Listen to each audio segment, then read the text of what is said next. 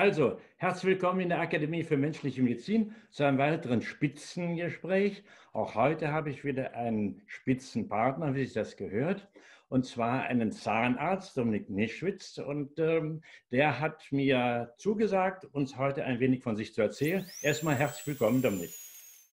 Danke, Jörg. Ich freue mich, dass wir live gehen.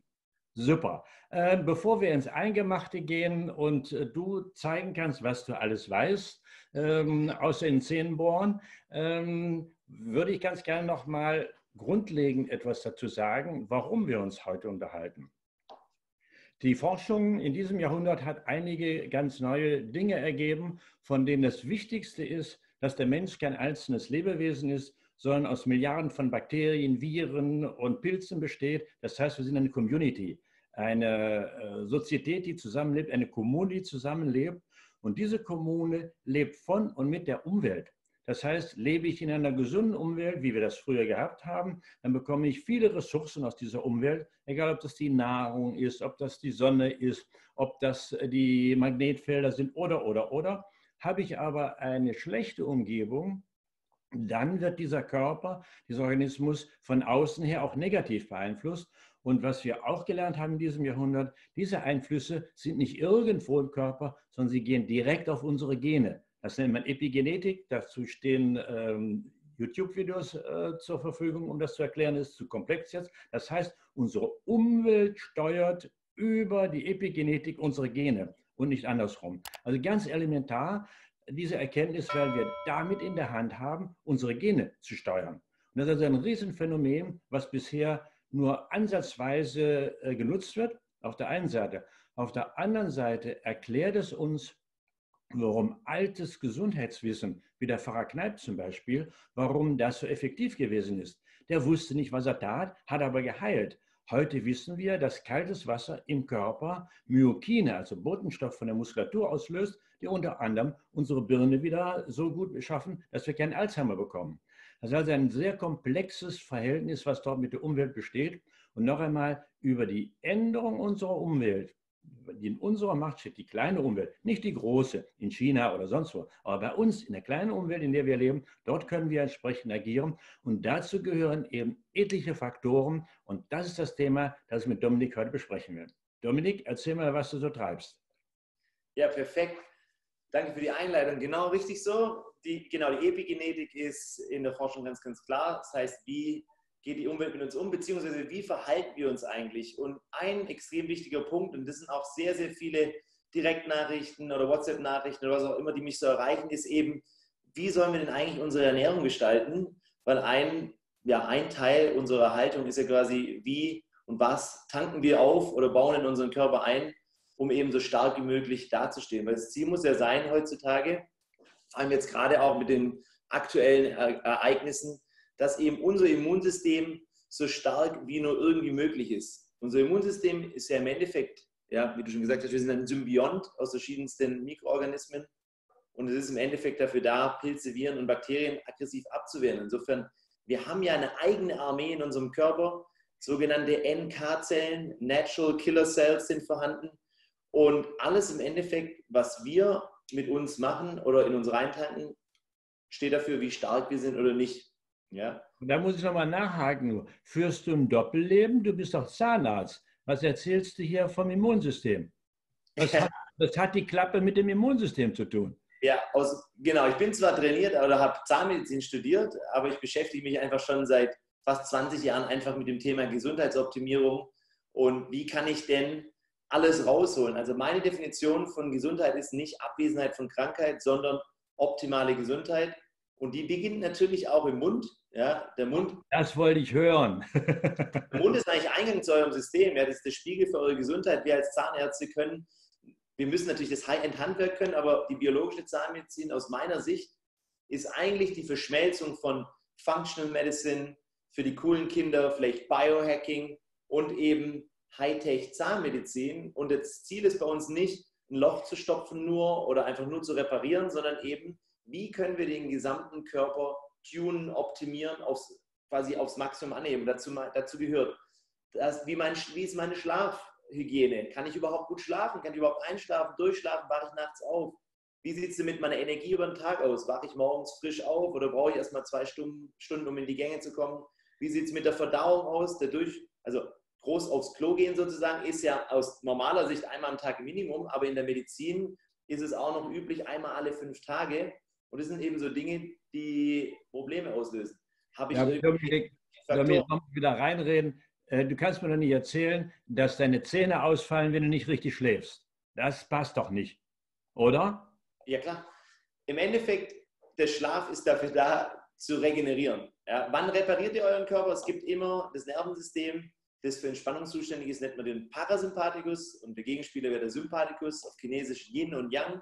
Nachts ja. aktiv ist der Parasympathikus, wenn ihr darauf vorbereitet seid. Parasympathikus, Rest and Digest, das Nervensystem, das eben eure Bauchorgane steuert und eben auch für Verdauung zuständig ist und so weiter. Und natürlich, wenn ihr nicht gescheit verdaut und immer im Stress seid und nicht regeneriert und natürlich einen Mangel an Nährstoffen habt, was auch immer, dann können euch auch natürlich am Ende vom Tag auch die Zähne ausfallen äh, oder eben Karies begünstigen. Man weiß ja heute, dass, ja, ja, dazu ist eben nochmal auch zu sagen, ganz wichtig, die Zähne erscheinen ja nur tot und fertig, aber sie sind lebendes Material und werden konstant umgebaut. Und auch da ist wieder die Umwelt wichtig. Die Umwelt des Zahnes ist der Mund. Und wenn ich in dem Mund einen guten Speichel habe, weil ich gesund bin und guten Speichel produziere, dann muss ich mir nicht unbedingt die Zähne putzen. Jetzt schreien die Zahnärzte natürlich, hurra, trotzdem musst du putzen. Aber der Speichel hat eine ganz andere Funktion, als wir das früher gedacht haben. Völlig korrekt. Speichel ist sogar extrem wertvoll und komplett abhängig vom gesamten Lifestyle, also wieder von eurer Epigenetik.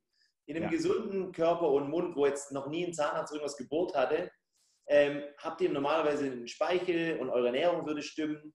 Dann wären da Proteine drin, Immunfaktoren drin, die ganzen Verdauungsenzyme drin und auch natürlich Mineralien, die ihr wieder nutzt, um ständig den Zahnschmelz zu remineralisieren. Weil allein wenn ihr esst, wird sich der pH-Wert in eurem Speichel einfach die ganze Zeit ändern, ein bisschen saurer werden. Das macht überhaupt, spielt überhaupt gar keine Rolle, solange euer Körper, euer Gesamtsystem in der Lage ist, das zu kompensieren durch Proteine, durch Mineralien, durch das, was ihr tankt. Das ist die Außenwirkung, also sprich initiale Karies oder einfach äh, Entmineralisierung, ob die jetzt im Zahn sind oder im Knochen, ist eigentlich das Gleiche. Mangel an Nährstoffen kann einmal von außen über den Speichel regeneriert und remineralisiert werden, aber natürlich auch von innen, weil die Zähne, wie der Jörg gerade gesagt hat, die sind nicht tot, nur weil die hart sind, sondern die sind 32 bis zu 32 Organe, die hier in eurem Kieferbereich stecken, auf dem Hirnnerv, die eben eine Blutversorgung haben, eine Lymphversorgung haben, eine Nervversorgung haben, also ein typisches Organ sind, sprich über den Zahnnerv, die Pulpa, werden die von innen auch ernährt.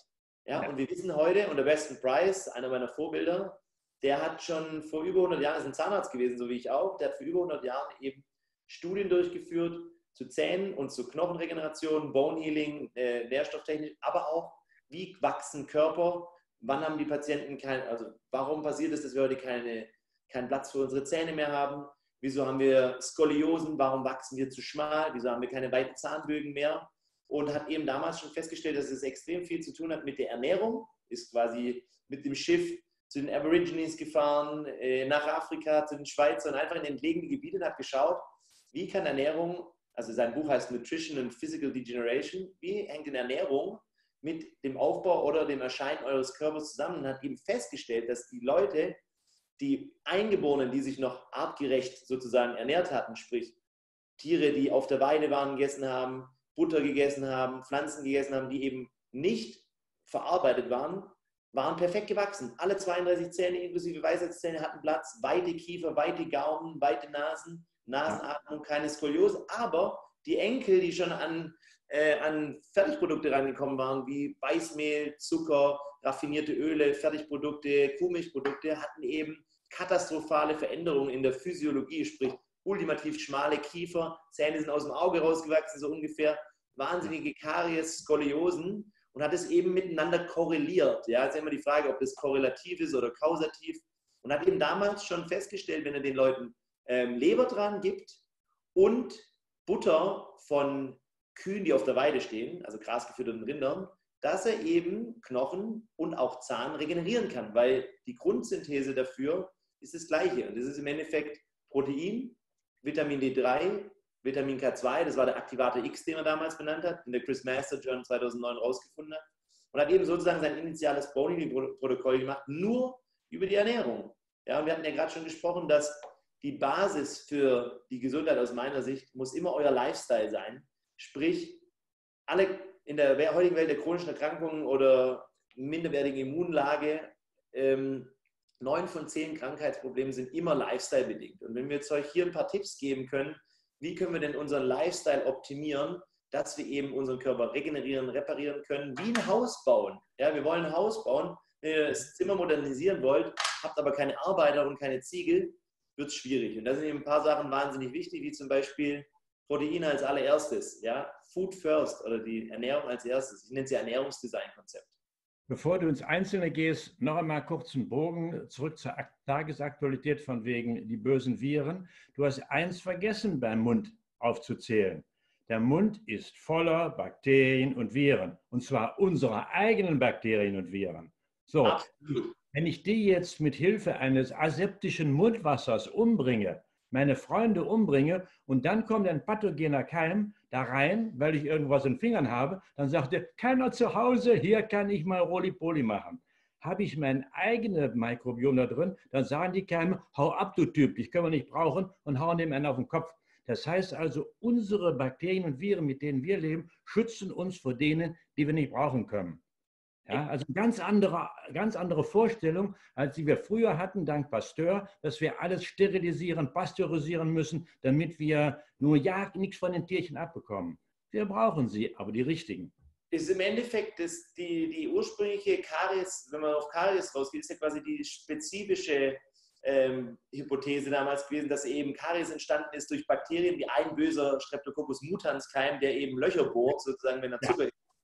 Und heute ist man ja auf die ökologische ähm, ähm, Hypothese eingegangen, sprich, haben wir eine diversifizierte Mundflora, haben wir zu viele anaerobe Keime oder Kompartmentalisierungen durch die falschen bösen Bakterien, das ja. natürlich auch ausgelöst sein kann, dadurch, dass ihr eben schon viele Dinge in eurem Mund installiert habt, die eben den Körper und das Immunsystem durcheinander bringen, wie Metalle oder einfach orale Störfelder, Metalle, wurzelbehandelte Zähne können Thema sein, chronische Entzündung. Thema, da kommt, ja, da kommen wir später nochmal drauf, das Problem der Metalle im Körper. Ich wollte nur noch sagen, kurz darauf hinweisen, dass das ein ganz wichtiger Faktor ist, so wie die Nahrung ist. Apropos Nahrung, die Tierchen ernähren wir ja auch. Wenn wir uns richtig ernähren, artgerecht ernähren, können wir die ganzen Milliarden von Bakterien miternähren. Und die danken es uns dann, dass sie für uns dienen, Bodenstoffe machen und und und. So, jetzt gehen wir also in die Ernährungsmöglichkeiten rein. Ich will noch mal kurz das Mikrobiom ansprechen. Ja. Das normale Mikrobiom ändert, das Mikrobiom generell in eurem Körper ändert sich innerhalb von drei Tagen. Ja? Je nachdem eben, wie ihr anfängt, euch zu ernähren, was damit reinkommt. Sprich, wenn ihr die standard westliche Ernährung durchführt, also mit viel eben Getreide.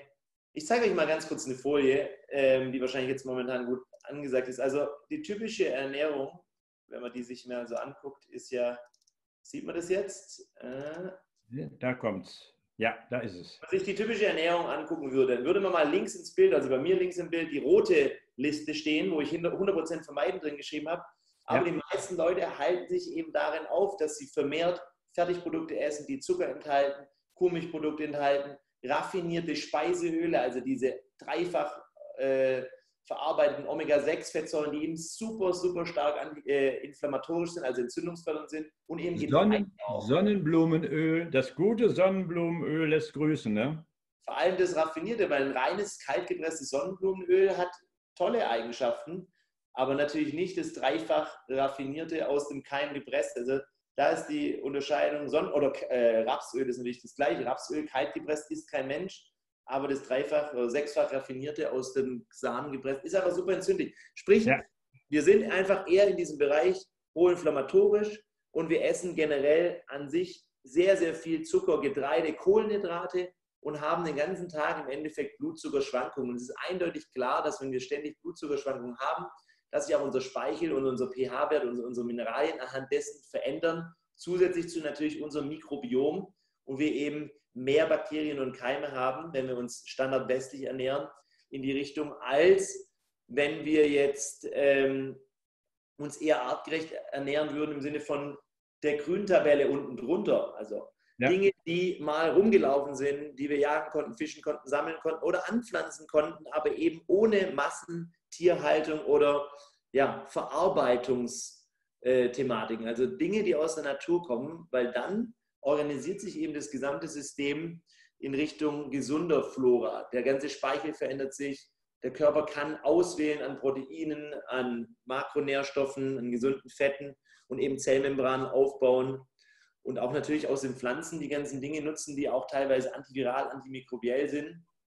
Und eben, ja, wie du immer sagst, man kann durch die Ernährung und den Lifestyle eben den inneren Arzt aktivieren ja. und ähm, dementsprechend natürlich auch Zähne und Knochen regenerieren, aber vor allem auch eben auch euer Immunsystem.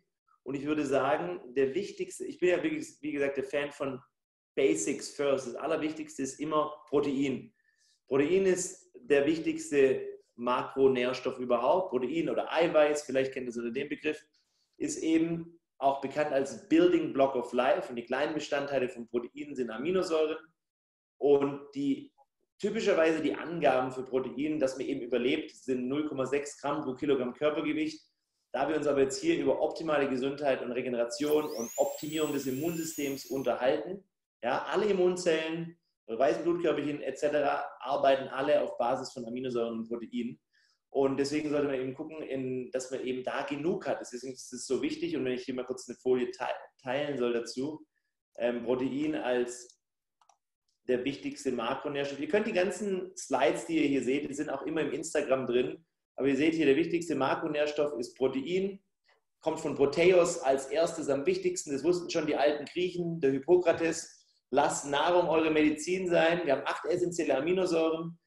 Es spielt primär mal gar keine Rolle, ob das Protein oder die Aminosäuren aus der Pflanzenwelt oder aus der tierischen Welt kommen. Ich zeige euch gleich mal, warum es eventuell ein bisschen komplexer wird, wenn wir in die Pflanzenwelt reingehen. Aber es ist wichtig für euer Immunsystem, euer Verdauungssystem, natürlich auch für Muskelaufbau. Aber das ist der, der Fokus der meisten Leute. Das Protein hat irgendwas mit Muskeln zu tun. Wenn die Proteine hören, denken die nur an Muskeln und Proteinshake aus dem Fitnessstudio. Leider. Das Protein ist Basis für alle eure Zellvorgänge, für Entgiftung, Regeneration. Die Leber, Leberphase 1 und 2 ist quasi fast nur Aminosäurekonjugation.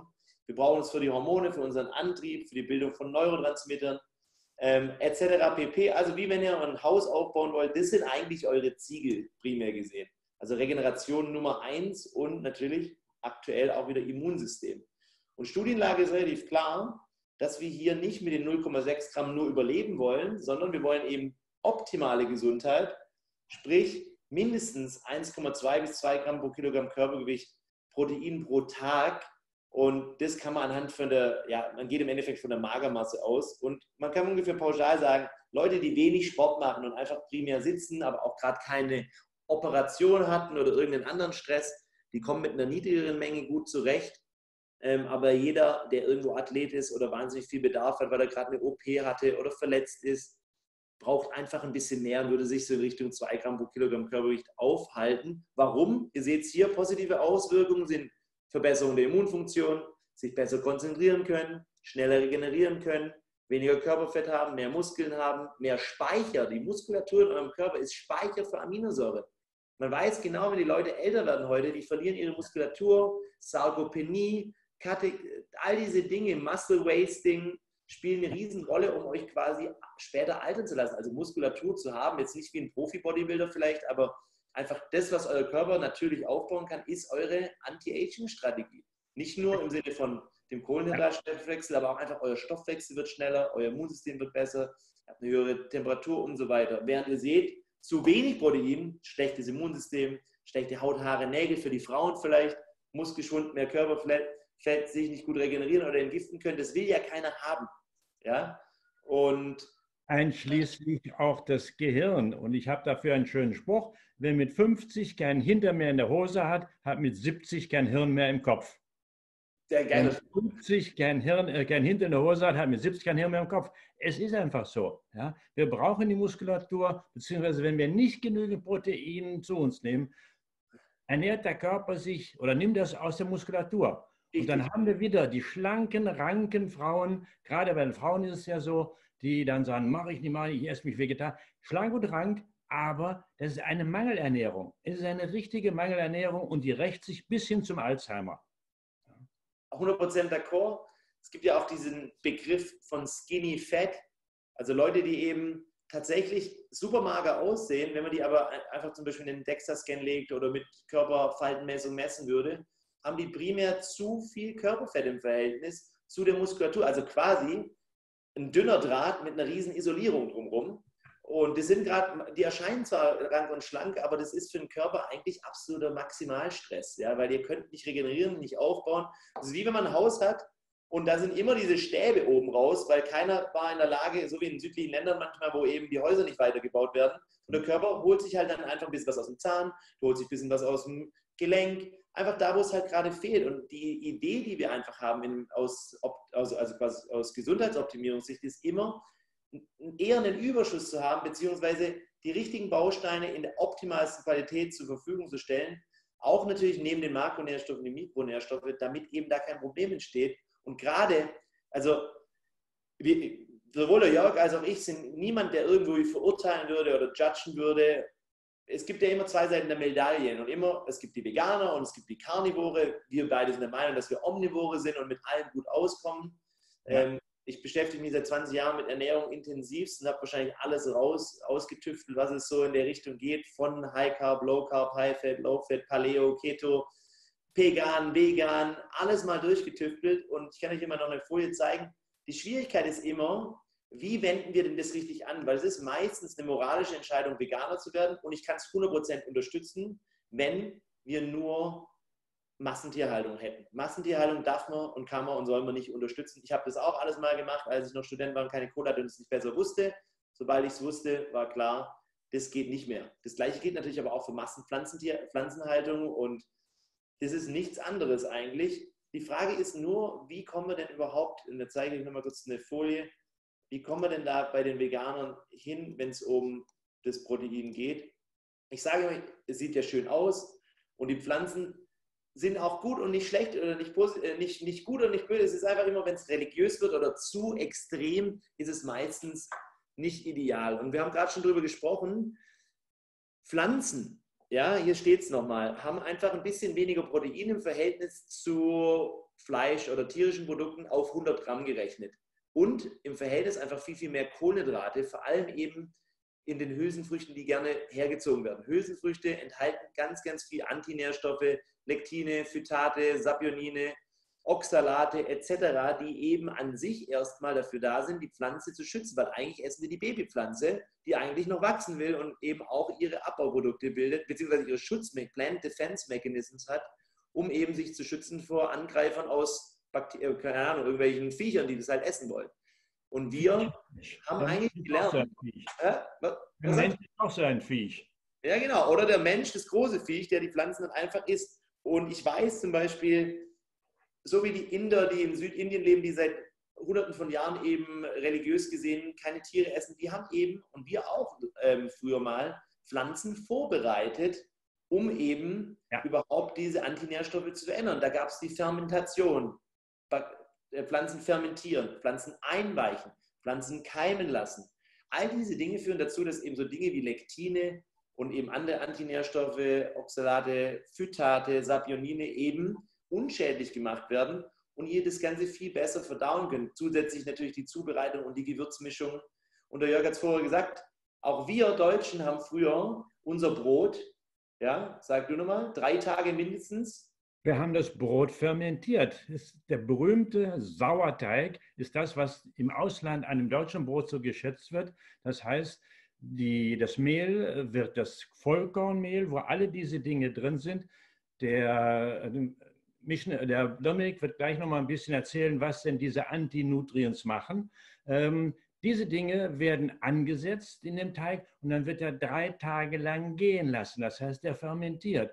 Und die Tierchen wieder da drin, Bakterien und Viren, fressen praktisch diese Pflanzenstoffe auf. Die verschwinden daraus. Und dann haben wir hinterher einen wunderbar leckeren Teig, der sehr nährstoffreich ist, weil die Mikronährstoffe bleiben drin. Nur die Schädlinge werden rausgeholt. Und dann haben wir eben ein wunderbares, gesundes Brot und kein Körnerbrot, so wie es heute ist. Was man heute als gesundes Körnerbrot kauft, ist im Grunde genommen hochtoxisch, weil genau diese ganzen Schadstoffe, die die Pflanze bildet, um sich zu schützen, die sind alle in dem Körnerbrot drin. Und dann wundern sich die Leute, wenn sie krank werden. Genau, es ist einfach nicht 100% foolproof. Man muss wirklich genau wissen, was man macht, so wie der Jörg das gerade gesagt hat. gerade, und das, die Frage bekomme ich jeden Tag, aber was ist denn mit meinen Vollkornprodukten? Und Vollkornprodukte, brauner Reis, ich habe mich immer gewundert früher, brauner Reis soll das so gesund sein. Ich habe es nie vertragen, habe immer sofort einen Reizdarm bekommen, dicken Bauch, alles hat wehgetan. Bei weißem Reis keine Probleme, alles easy. Und natürlich über die Jahre mich damit beschäftigt und festgestellt, gerade brauner Reis oder alles, was noch Schale dran hat, enthält eben Antinährstoffe und die müssen wir unschädlich machen. Das heißt, wenn ihr Veganer sein wollt, gar kein Thema. Ein typisches Beispiel für, und es soll nicht negativ klingen, ist einfach, ich bin jetzt Veganer, das heißt, ich esse zum Frühstück einen veganen Doppelkeks und einen Kaffee mit Sojamilch und Zucker. Und dann hole ich mir beim Bäcker ein Brötchen, Rosinenbrötchen, zum Mittag glutenfreie Schokomuffins und am Abend Salat mit Sprossen. Wenn ich das aus medizinischer Sicht sehe, dann hat es nichts mit gesunder Ernährung zu tun. Es ist zwar vegan vom Labeling her, aber primär, was wir gemacht haben, wir haben unseren Körper in den Entzündungsmodus versetzt. Wir haben ihn hauptsächlich mit Zucker gefüttert, quasi kein Protein oder Aminosäuren aufgenommen und noch zusätzlich Pflanzenstoffe aufgenommen, die eigentlich noch nicht unschädlich gemacht wurden. Sprich, jetzt macht ihr das mal ein paar Monate lang und dann habt ihr Probleme, fallen euch die Haare aus, Nägel und so weiter. Insofern, ihr müsst einfach wissen, vegan sein funktioniert. Ihr müsst wissen, wie. Wir müssen auf die Qualität achten. Wenn ihr Pflanzen nutzen wollt, müsst ihr die so vorbereiten, wie das mal angewandt wurde. Da würde ich mich mit Ayurveda beschäftigen oder mit Fermentation, mit Keimen lassen und so weiter. Und eben auf die Proteine achten, weil es ist halt einfach wahnsinnig wenig drin. Und wenn wir nachher noch auf Kohlenhydrate zu sprechen kommen, teilweise zu viele Kohlenhydrate, sei es unsere Empfehlung, Low Carb zu essen oder teilweise sogar Paleo, geht da nicht. Ja, weil einfach in Quinoa zum Beispiel halt 50, oder Linsen sind halt 60 bis 75 Gramm äh, Prozent ähm, Kohlenhydrate und nur 15 Prozent Protein mit drin, die dann wieder Schwierigkeit machen. Also wir müssen trotzdem darauf fokussieren. Klar, jeder weiß, Veganer sollten mehr B12 konsumieren, weil das ist einfach nicht drin in Pflanzen. Auch ganz wichtig ist, weil wir mit Vitamin D3 sehr, sehr viel machen, das auch eine aktuelle Empfehlung ist für das Immunsystem, ähm, um eben besser dazustehen. Vitamin K2 kommt in der Pflanzenwelt nur aus fermentiertem Soja, also Natto, vor. Ansonsten ist Vitamin K1 in der Pflanze und K2 nur in tierischen Produkten, meines Wissens nach zumindest. Da ist es ein No-Brainer. Dann haben wir im Fleisch Dinge wie Carnis, Carnosin, Carnitin, ähm, Cholin, was wahnsinnig wichtig ist für eure Neurotransmitter, für eure Zellmembran, für eure Entgiftung ähm, Taurin, also verschiedenste Dinge, die einfach ganz, ganz schwierig sind aufzunehmen. Dann sollte man einfach den zweitbesten Weg gehen, so wie der Jörg das vorher gesagt hat. Dann müsste er im Endeffekt gucken, wie kriege ich jetzt Aminosäuren her. Es gibt ja zum, zum Beispiel auch eben essentielle Aminosäuren, die aus veganer Form hergestellt sind, die acht ja. oder neun verschiedenen essentiellen. Der Körper kann im Endeffekt aus allen essentiellen Aminosäuren alles aufbauen. Ja. Da bin ich ein Riesenfan davon. Dann eben gibt es auch verschiedene Pflanzenprotein-Shakes, zum Beispiel auf Basis brauner Reis oder Hanfsamen oder. Erbsen, ja. genau. Ich persönlich vertrage keine Erbsen. Meine Proteinsequenz geht damit nicht. Ich vertrage auch, also ich habe zum Beispiel immer diesen, momentan diesen Continuous Glucose Monitor dran, der auch neben den Blutzuckerschwankungen aufzeigt, ob man auf irgendwas allergisch reagiert. Wenn man einen super hohen Spike bekommt, ist es quasi ein Stress. Stress bewirkt immer, dass Cortisol produziert wird, Blutzuckerspiegel hochgeht, also Energie bereitgestellt wird. Und ich habe zum Beispiel Tempeh, was fermentiertes Soja ist, was generell an sich eine gute Quelle ist, ja. äh, geht nicht. Ging mein Blutzuckerspiegel auf 250 und äh, ich habe gedacht, ich mich oh.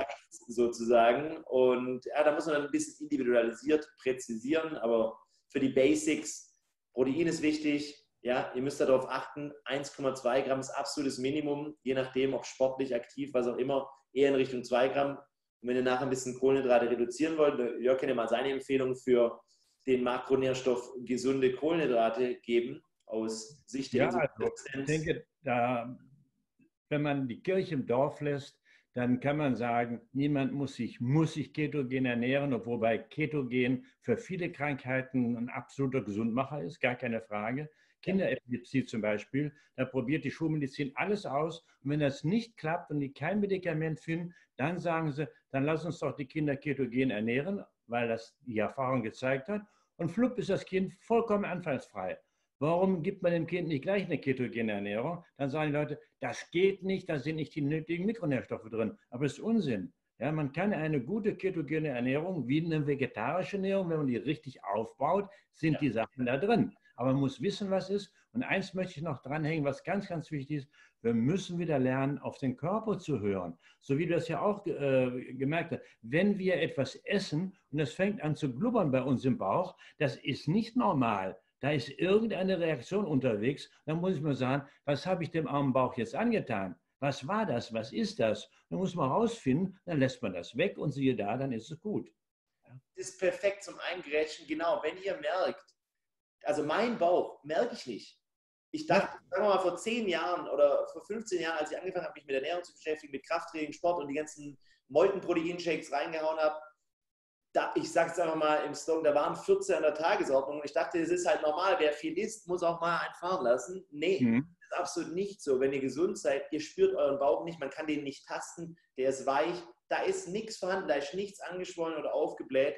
Und sobald ihr eben solche Dinge nutzt, da kommt man zu diesem instinktiven Essen zurück, ähm, werdet ihr feststellen, dass ihr dann plötzlich merkt, was euch gut tut und was nicht. Allerdings, muss ich dazu sagen, geht es erst, wenn man eine gewisse Phase quasi den Instinkt wieder zurückholt. Also man muss einfach erstmal sich so eine Art Rahmen aufbauen, in dem wir uns aufhalten. Deswegen eben die vorherige Folie mit dem Rot, Grün, Orange und Gelb und sich an ein paar Grundregeln halten. Den entzündeten Magen-Darm-Trakt, der quasi bei 88 Prozent der Bevölkerung irgendwo entzündet ist durch chronische Überfütterung und Entzündungsprodukte, ähm, wieder regenerieren. Das Coole ist an der Sache, wir können, unser Körper kann alles wieder regenerieren Richtig. präventiv gesehen ist es das Wichtigste, was wir machen können, euren ganzen Magen-Darm-Trakt, euren ganzen Körper auch wieder aufbauen mit den richtigen Nährstoffen, anti-entzündlich arbeiten, weil euer Immunsystem wird immer mit einer Entzündung reagieren, wenn da irgendwas kommt, was es nicht verträgt. Und ihr merkt eine Entzündung vielleicht nicht unbedingt als rote Stelle auf der Haut, aber vielleicht zum Beispiel mit einem Krummeln im Bauch oder mit einer angespannten Stelle am Darm oder mit einem Lymphknoten oder mit einer Appendizitis im akuten Fall. Insofern ja. Oder mit, mit meiner, in meiner Sicht war es ja die chronische Mandelentzündung, die eben durch die Kuhmilchprodukte ausgelöst war. Ja. Äh, noch ein anderes Thema, äh, was jetzt auch äh, aktuell ist. Ähm, es ist ja lustigerweise als ein Hauptprodukt äh, bezüglich der Hamsterkäufe äh, ist Klopapier gewesen. Und ähm, das Klopapier ist ein signifikanter Monitor meiner Gesundheit. Denn wenn mein Magen-Darm in Ordnung ist, dann lege ich, die Schulmedizin sagt dafür, ich habe einen geformten Stuhl. Zu Deutsch, man legt einzelne schöne Eier oder Würste und man hat keinen verschmierten Hintern, sondern man braucht ein Blatt und dann ist es fertig. Wer aber eine Fehldarmfunktion hat, der braucht eine halbe Rolle Klopapier, um den Hintern wieder sauber zu kriegen. Und auch das müssen wir lernen. Stuhlgang ist nicht gleich Stuhlgang. Und wenn ich denke, werde ich dreimal am Tag so einen breiigen Stuhl entleeren, mein Stuhlgang ist in Ordnung, Pustekuchen, ich bin krank, mein Darm ist krank. Komplett richtig. Wir nennen das Teflon-Schiss. Weil es quasi wie verpackt rauskommt und eigentlich müsste man gar nichts putzen. Das ist ideal, dann funktioniert es. Es sollte weder super steinhart sein, noch mega matschig. Am besten einfach raus, wie er es gerade gesagt hat, als Wurst oder als kleines Ei verpackt und ohne Putzen. Dann funktioniert es. Und alle von euch da draußen, ich bin mir sicher, 80 Prozent sagen, ach scheiße, jetzt weiß ich, warum ich so viel Klopapier gesammelt habe. Es ist nicht der Ballaststoff, weil ihr könnt es nicht essen. Ähm, es muss das Putzen sein. Ja, so. Und wenn ich die richtigen ja. Bakterien habe, das ist auch so eine Story. Ich habe das ja als Schulmediziner auch gelernt, wobei Ernährungsmedizin war sowieso für die Deppen nur. Ähm, aber ich habe gelernt, Ballaststoffe brauchen wir, damit wir solche Eier legen können. Ja, als Ballast für den Darm, als Transportmittel. Dem ist nicht so. Die Tierchen, die wir da drin haben, die können sich davon ernähren. Wenn ich jetzt keine Ballaststoffe, also nur Kekse esse, dann verhungern meine Bakterien, die guten Bakterien verhungern da drin und die anderen, die schlechten, fangen an, Rollipoli zu machen. Also auch dafür ganz, ganz wichtig, damit unsere Bakterien, die uns Botenstoffe bilden, die die anderen klein halten, so damit die leben können, muss ich mich mit guten Ballaststoffen ernähren und versorgen. Genau, und vor allem die unlöslichen Ballaststoffe füttern wieder das Mikrobiom und die Bakterien da unten drin, während sie nicht mal verhungern, geben uns nochmal was zurück, indem sie eben kurzkettige Fettsäuren drauf aufbauen, die wir wieder als Energie liefern können. Insofern Ballaststoffe ist wahnsinnig viel wert. Das ist auch wieder so ein Grenzding, man darf es nicht übertreiben. Einfach, man muss immer wie bei allem so die Balance finden, damit das ganze System rund läuft. Auch natürlich fermentierte Produkte wie Kimchi oder Sauerkraut die wir eben, sagen wir mal, vor 100 Jahren war das wahrscheinlich Standard, dass wir das viel, viel öfter gegessen haben. Ich esse jeden Tag Sauerkraut. Das liefert uns noch mehr Bakterien. Also Ballaststoffe per se liefern uns eine Ladung Bakterien und deren Futter. Dann müssen die nämlich nicht unsere Darmschleimhaut futtern, weil wenn die nichts zu essen kriegen, außer einen Keks, dann essen die euch die Muzine in eurer Darmschleimhaut und die kriegt einen löchrigen Magen-Darm-Trakt oder eben mehr Entzündung und wieder Eintrittspforten, die Gut vielleicht schon mal gehört, zusätzlich zu dem ganzen Getreide. Ähm, insofern ein doppelter Benefit, wenn ihr da mehr ähm, Ballaststoff aufnehmt. Immer abhängig von euch, wenn ihr merkt, ihr esst zu viel, habt ihr wieder einen aufgeblähten Bauch, dann funktioniert der Stuhlgang nicht so richtig. Es gibt für alles, würdest du wahrscheinlich unterschreiben, einen Sweet Spot. Ja, einmal das und äh, dann äh, haben die alten Griechen schon gesagt, die Dosis macht das Gift. Ja, das ist ganz, ganz wichtig. Wenn ich einen Schoppen Rotwein trinke zu meinem Essen, ist das super. Wenn ich drei Flaschen trinke, äh, gehe ich über die Wupper. Ne? Und selbst Wasser. Wir wissen, alle zwei Liter Wasser sollte man trinken. Wobei nicht jeder oder niemand muss stündlich eine halbe Flasche trinken, ja. Aber äh, dass man also die Flaschen rumtrimmt. Aber zum Wasser ist zu sagen, trinken Sie doch mal jeden Tag 10 Liter Eimer Wasser. Sie werden krank werden. Das heißt, auch das Wasser ist in der Überdosierung krank. Genauso wie der Zucker in der Überdosierung krank ist. Der Zucker ist ja nichts Schlechtes, die Kohlenhydrate. Aber diese Masse, die haben wir ja nie gehabt und die macht uns krank. Ganz genau. Zucker war mal bis vor kurzem, sagen wir mal bis vor 50, 60 Jahren, war das ein, ein, ähm, ein Wohlstandsprodukt. Und man hat vielleicht einen Zuckerwürfel in seinen Tee gemacht.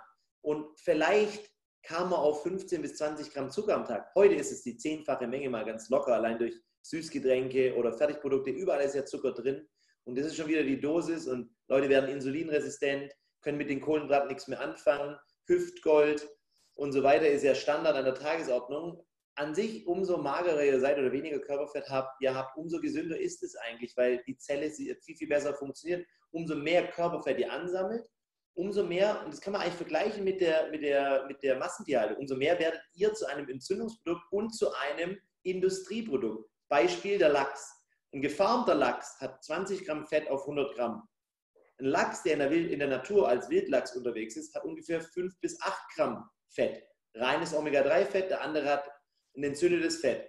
Stellt euch das genauso vor bei euch als Menschen. Das soll jetzt nicht irgendwie negativ klingen oder so, aber wenn ihr zu viel Körperfett angesammelt habt, dann seid ihr ein Industrieprodukt und ihr habt eben zu viel Entzündung. Und dieses weiße Körperfett, das eingelagert wird, ist ein hormonell aktives Stoffwechselgewebe, das ja. dann wieder Entzündungsmediatoren ausschickt, und zwar TNF-Alpha, Interleukin 1-Beta, äh, IL-6, also all diese Zytokine, die ihr eigentlich nur in der, in der Immunabwehr momentan bräuchtet, also das angeborene Immunsystem, Makrophagaktivität, zum Beispiel, wenn ihr irgendwo eine Entzündung habt, reagiert immer mit diesen Zytokinen.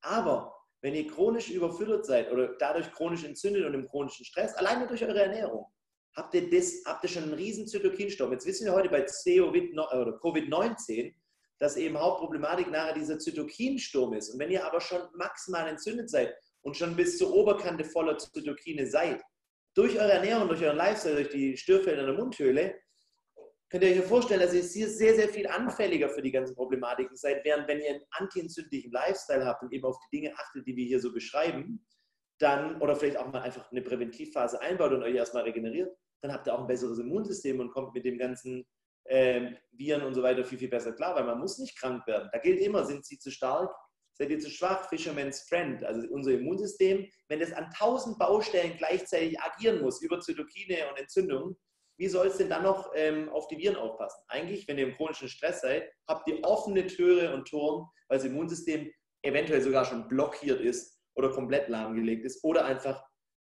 ja, on Dauerfire sozusagen. Kannst du das unterschreiben? Dominik, zwei Sachen möchte ich noch mit dir besprechen ähm, nach dem großen Bogen, die, glaube ich, noch ganz wichtig sind. Das eine können wir direkt weitermachen. Das ist das Thema ähm, Entzündung, äh, Inflammation und Omega-3 von wegen Zuchtlachs. Ja, also ganz, ganz wichtig, dass wir dieses Thema noch haben. Ja. Und anschließend zum Abschluss, denke ich, sollte man noch mal vielleicht kurz auf das Nichtessen kommen. Ja? Auf jeden Wenn wir nicht essen, haben wir keinen Stress. Essen ist Stress für den Körper. Und das Nichtessen, zu Deutsch das Fasten, ist eine alte, eingesetzte Ein Angewohnheit, denn wir haben nicht jeden Tag einen Mammut gefangen. Also, deswegen erst einmal kurz Omega-3. Was haben wir da zu beachten? Ja, also wenn wir jetzt nochmal auf das Lachsbeispiel eingehen, oder ich würde vielleicht sogar auch auf einen, also Lachs, Naturlachs, Wildlachs, ist ja. sehr, der ist viel Eigen und einfach Dinge, Plankton, was auch immer, die eben dazu führen, dass er eher, die Fette, die er da drin findet, sind eigentlich sehr, sehr reich an Omega-3. Ja, gesunden Omega-3. Genauso gilt das Gleiche für Rind oder Tiere von der Weide oder auch Wild. Einfach Dinge, die Kräuter gegessen haben, die nicht zugefüttert wurden, die kein Getreide gefüttert haben. Die haben auch ein super schönes Omega-3 zu Omega-6-Verhältnis von 2 zu 1 bis zu 4 zu 1, was ja ideal ist. Omega-6 ist ja nicht schlecht, brauchen wir auch. Während, wenn ihr zum Beispiel ein US Prime Beef nehmt, US Prime Beef hat Omega-3 zu Omega-6-Verhältnis, also Omega-6 zu 3 von bis zu 40 zu 1. Was machen die mit den Viechern? Die mästen die am Ende mit, mit Weizen, mit Getreide, mit Kraftfutter, was absolute Entzündung auslöst. Diese Entzündung wollt ihr haben, weil das ist dieses marmorierte und dieses fettige Zeug da dran, das vielleicht gut schmeckt. Aber das, ihr werdet darauf mit maximaler Entzündung reagieren und selber auch zu diesem Produkt werden. Ich persönlich, für mich ist Rind Medizin, wenn das Gutes ist. Ich weiß, mein, alle meine Metzger hier, alle Läden, wo ich das herbekomme, ist immer von der Weide, weil ich merke sofort, gibst du mir ein Rind, das zugefüttert wurde, am nächsten Tag, meine Gelenke sind fest. Es kann sein, dass ich nachts ein Karpaltunnelsyndrom entwickle, quasi taube Hände bekomme. Einfach durch diese Entzündung, die mein Körper und mein Immunsystem ist super aggressiv und stark, die das einfach dadurch auslösen kann. Insofern wahnsinnig wichtig. Das gleiche gilt auch für den Lachs. Unabhängig davon, dass diesen Viechern natürlich auch immer Hormone und Antibiotika und irgendwelche anderen Dinge noch dazu gefüttert werden. Und deswegen, Zuchtlachs, ja. Zuchtlachs. Und deswegen Omega-3-Fettsäuren man kann es über Pflanzen auch aufnehmen, man kriegt es über ein bisschen was über Leinöl. Ähm, also es ist wichtig vor allem EPA und DHA, deswegen Algenöl ist eine Variation. Ich persönlich bin großer Fan von Fischöl tatsächlich, wenn die Qualität stimmt. Und natürlich durch die Nahrung, ähm, durch die artgerechte Haltung, viel davon aufzunehmen. Hanfsamen wäre noch was, Leinöl. Ja. Warum klappt das mit dem Leinöl nicht? Es ist einfach. Die alte Frau Budwig, die alte Frau Budwig, die ja bekannt ist, hat ja damals gesagt, äh, Pellkartoffel, Quark und Leinöl ist eine absolute gesunde Nahrung. War es auch, nur heute haben wir ja ein anderes Problem von wegen Leinöl. Ja, also Leinöl, das war, also du meinst die, die Qualität dahinter oder? Nein, die Umwandlung. ja, die Umwandlung braucht neun verschiedene biochemische Schritte und ist einfach gar nicht effektiv. Und teilweise ist es auch wieder enzymabhängig und euer Körper kann es gar nicht. Also ALA, Alpha-Linolensäure, die ja da drin ist, braucht im Durchschnitt neun biochemische Schritte, um eben ein bisschen eventuell EPA und DHA zu generieren. Insofern ist es wahnsinnig wichtig, dass ihr EPA und DHA, also Eicosapentaensäure und Docosahexaensäure, auch wirklich über die Nahrung aufnehmt. Ich bin ein Riesenfan von der Fettvariation. Ja, das ist immer abhängig auch von eurem Stoffwechsel. Habt ihr eine Leber-Gallen-Problematik, seid ihr so der Lebertyp, dann müsst ihr aufpassen, dass ihr nicht zu viel Ketogen und nur diese ganzen MCT und C8 und gesättigten Fette zu sich nehmt, sondern eher sogar das feinere Öl teilweise braucht, also was wie natürlich unser Fischöl, Omega-3-Fettsäuren, aber auch gute Omega-6-Fettsäuren wie ähm, GLA, CLA, ähm, die eben auch das, das, braune Fett aktivieren, aber auch eben verschiedenste Mono, also mehrfach ungesättigte Fettsäuren, Mufas nennt man die auch, wie im Olivenöl, da haben wir noch die, die Phenole drin, ähm, ja. Oleic Acid, dann Dinge wie ähm, Avocado, auch mehrfach ungesättigte Fettsäuren, weil eben mehrfach ungesättigte Fettsäuren helfen zum Beispiel auch wieder dabei, andere Fette oder auch Kohlenhydrate zu partizipieren. Also wirklich die Nährstoffaufnahme nochmal zu präzisieren. Während gesättigte Fette sind ja immer noch häufig der Feind, ist auch nicht korrekt. Ihr braucht die gesättigten Fettsäuren, das ist die Rohstoffsynthese für euer, Cortisol, äh, für euer Cholesterin. Cholesterin ist der Rohstoff für alle Sexualhormone im Körper, für Cortisol, für Stresshormon, für Testosteron, für Östrogen und wir brauchen das ja zum Regenerieren. Insofern, Fette sind nochmal ein extra Thema, wo wir wahrscheinlich zehn Stunden drüber reden könnten. Super, super wichtig. Ja, eine ganz wichtige Botschaft auch wieder für die Vegetarier, die sagen, ja, also wenn ich mein Leinöl habe, beziehungsweise auch äh, mein Sonnenblumenöl, das ist ja Pflanzenöl, von daher ist es gesund. Es ist nur dann gesund, wenn ich die hochgesättigten äh, Fettsäuren, hochunsättigte Fettsäuren, wenn ich die entsprechend schütze. Das heißt, bin ich ein Pudding-Vegetarier und habe also überwiegend Kohlenhydrate ohne mein Gemüse, ja, mit den Mikronährstoffen, dann habe ich nicht die nötigen Puffersubstanzen für die äh, ungesättigten Fettsäuren und dann werden die im Körper oxidiert. Und oxidiertes Fett ist giftiges Fett. Das heißt, ich vergifte mich mit eigentlich einem Produkt, was gar nicht so schlecht wäre, aber meine Gesamtnahrung ist so schlecht, dass das passiert. Ja? Riesenproblem. Und genau mit den Blutfetten, um das nochmal anzusprechen, Blutfette haben wirklich nicht so viel mit euren Nahrungsfetten zu tun. Leute, die eben mehr zum Beispiel über die Fettstoffwechselsynthese arbeiten, also quasi metabolisch flexibel sind, ketogen unterwegs sind, vielleicht auch Paleo und da variieren, haben häufig einen viel höheren LDL-Wert. Wenn der LDL-Wert hoch ist, heißt es eigentlich erstmal nur, dass der Körper Fette transportiert als Energielieferant, was wir brauchen. LDL heißt noch nicht, dass es oxidiert ist. Und wir müssen immer gucken, wie hoch ist der Triglyceridwert im Verhältnis, weil Triglyceridwert ist unser Entzündungsmarker. Ja, der sollte einfach niedrig sein. LDL kann sogar super hoch sein, wenn ihr, und da kann ich nochmal ganz kurz auf die eine Folie eingehen, wenn ihr, äh, ich zeige es euch nachher, wenn ihr nicht insulinresistent seid, weil Insulinresistenz und die damit entzündlichen Probleme im Endothel führen im Endeffekt dazu, dass das LDL nachher kleben bleibt. Also stellt euch vor, LDL wäre ein Tennisball. Und der Tennisball hat Haare dann. Ihr kennt doch dieses Spiel, wo man den Tennisball mit dieser Klebewand fängt. Wenn die Wand, die, die Innenhaut von, von, eure, von, eurer, von, euren, von euren Venen und so weiter, wenn die glatt ist, bleibt da auch kein LDL hängen. Sobald die Fasern dran hat und klebt, wegen der Insulinresistenz, Entzündungsneigung von eurem Körper, weil ihr die ganze Zeit proinflammatorisch unterwegs seid, dann bleibt es kleben und dann begünstigt ihr Arteriosklerose. Das hat also nicht wirklich was mit Fetten zu tun, sondern eher mit eurem Zuckerstoffwechsel und mit eben den damit ausgelösten Entzündungen. Ich habe hier jetzt, was war deine zweite Frage noch, die man neben den Omega-3-Fettsäuren?